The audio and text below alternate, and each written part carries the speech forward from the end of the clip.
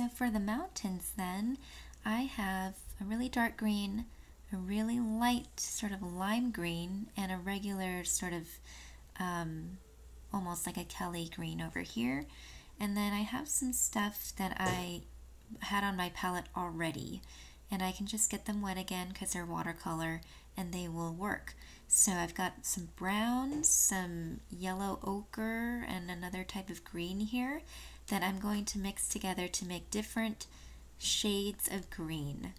Um, so try as you're mixing colors, try to um, sort of imagine some hills in your mind and think about what colors those hills are.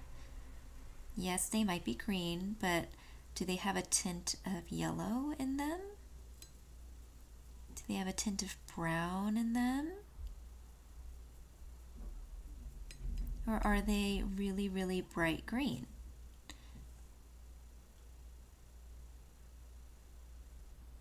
And so I've made sort of like a an olive tone over here and I'm going to sort of start on my first hill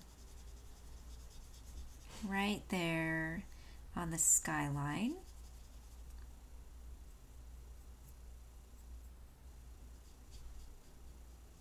And for these, we definitely want it to be um, a little bit more thicker and saturated with paint.